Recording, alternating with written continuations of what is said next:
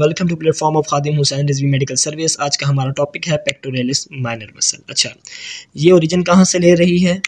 हमारे पास ये कोस्टोकॉन्ड्रल जंक्शंस मौजूद हैं, यानी कि ये कोस्टल कार्टिलेज है ना, और यहाँ पे हमारे पास ये रिप्स मौजूद हैं। इनके जो हमारे पास जंक्शन बने हुए हैं थ्री फोर फाइव रिब्स देखें ना, हमारे पास ये वन हो गई, ये टू रिब हो गई, और यहाँ पर हमारे पास कौन सी रिब आ रही है?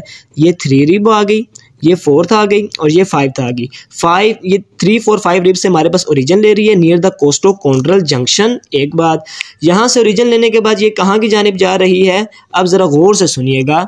ये हमारे पास जा रही है जी ऑन द मीडियल बॉर्डर ये हमारे पास कोरोकॉइड प्रोसेस आपको नज़र आ रहेगा, जो कि स्केपुला के हमारे पास पार्ट है। ये रहा कोरोकॉइड प्रोसेस और ये देखें ये वाला इसका मीडियल पार्ट है और ये वाला मीडियल पार्ट तो है और सरफेस कौन सी है? अपर सरफेस है।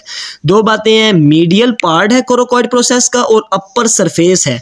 यानी the pectoralis minor muscle is taking its origin from the three four five rib near the costochondral junction and inserting to the medial border of the upper surface of the coracoid process ये हमारे पास होगी origin insertion अब इसकी जो innervation है, वो, जो nerve supply है, वो क्या है जी?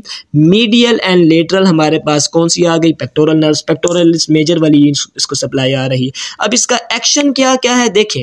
ये ना हमारे जो स्कैपुला है ना, उसको ये आगे की तरफ़ ले आएगी यानी कि स्कैपुला को ना ये डिप्रेस करने में और एंटेरियरी टिल्ड करने में, यानी इस स्कैपुला को इसकी पोजीशन से ये लेकर ना आगे तक ले आती है। ठीक हो गया, एक तो ये बात। दूसरी बात ये है कि ये हमारे पास इंस्पायरेशन में पेक्टोरलिस मेजर के साथ जो है वो हेल्प करती होती है। जिस तरह पेक्टोरलिस मेजर आपकी इंस्पायरेशन में हेल्प करती है, ये भी उसी तरह इंस्पायरेशन में हेल्प करती है।